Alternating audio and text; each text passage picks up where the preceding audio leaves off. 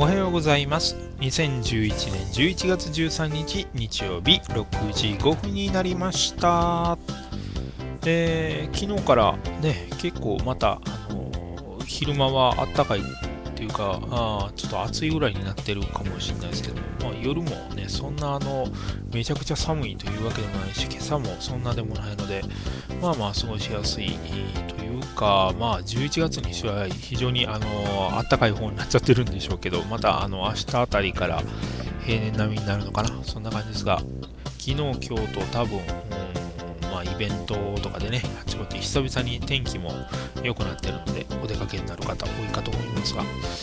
さて、えーと、今日のニュースですね、IT メディアニュースからまた見ていきたいと思います。今日ピックアップするのはこちら、えー、共有か盗撮か、他人を無断撮影して投稿炎上する学生相次ぐということで、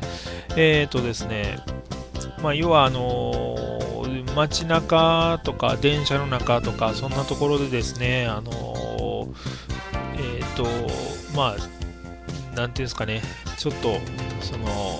いじりやすいキャラというか、いじりやすい風貌の人たちがいるとですね、それを撮影して、で、ちょっとその、誹謗中傷、ちょっとキモいとか、えっ、ー、と、絶対この人ずらみたいなやつをですね、書いて、で、あのー Twitter だの、Facebook だの、あるいはブログだの、そんなところにこう乗っけると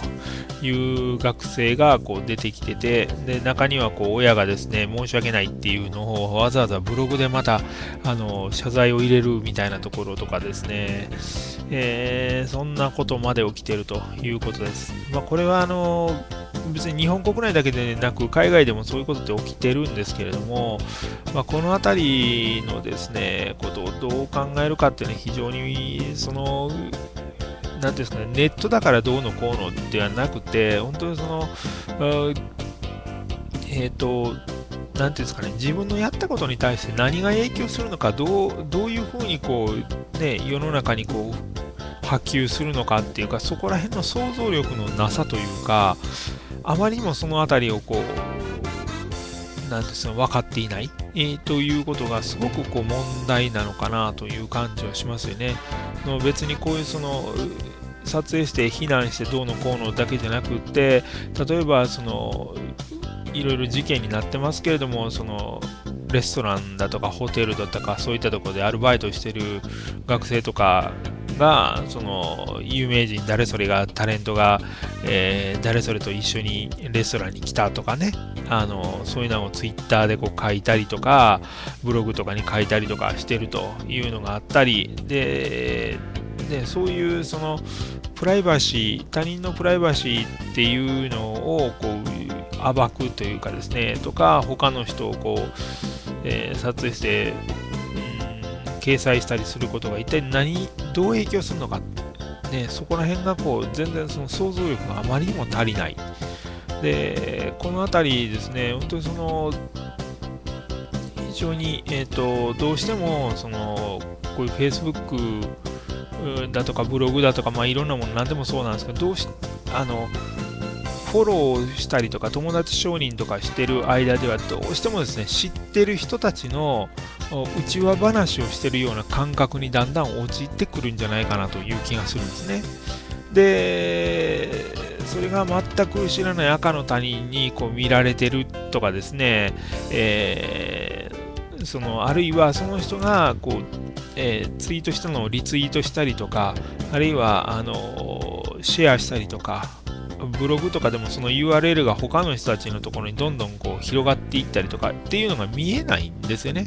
で、その見えないがゆえに、えっ、ー、と、その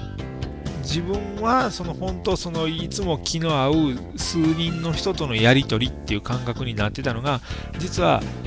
世間に広く知られてることになってしまってると。いうその想像力がこう全然こう働かないっていうかその辺の錯覚に陥るのはですねとってもこう怖いところで。でかつこれはですねその接客業とかをやってる人たち、まあ、接客業に限らないですね。ビジネスをやってる人たちはこの辺りをやっぱりその経営者っていうのは社員に教育しなきゃいけない部分になってきちゃってますし前にもありましたけどね、あの航空管制官かなんか、管制塔で働いてる人がその大統領機が来る時のその時間だとかなんだかブログにこうアップしちゃったとか、あのそんなんありましたよね。その携帯で撮影して、このいついつどこにこう来てるみたいなとか、そういうその極秘事項であるのに、そういうのをこう公開してる、要は特定の人しか知らない情報なのに、それをオープンにしちゃったと。でそういうのは本当にこう、何ていうんですかね、それが一体どう影響するのっていうのが、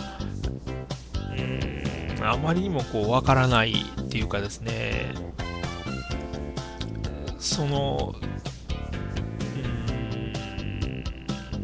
理論的に考えれば、理屈で考えれば分かるんですけどやっぱりその瞬間瞬間の感情だけでこう行動しちゃってるっていうのが、あものすごく大きいのかなという気がします。まあ、この辺りは、とそのまあ、言っちゃえばね、教育の話とかになってしまうんですけれども、その IT のリテラシーとかね、そういう風になるんですけど、情報リテラシーだとか、まあ、その辺りのそのことをですね、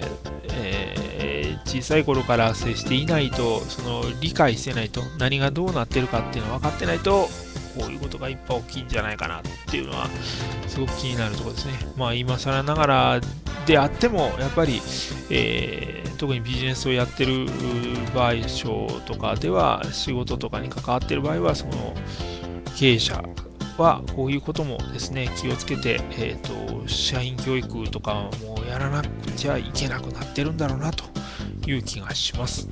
さて、そんなところでも間もなく6時12分になろうとしております。えっ、ー、と、今日は日曜日ですね。えっ、ー、と、天気もまあまあ良くなるみたいなんで、えー、ぜひどっかお出かけ、イベントもあちこちで行われるようなんで、お出かけしてみてはいかがでしょうか。では、そんなこんなで、今日も元気にやっていきましょう。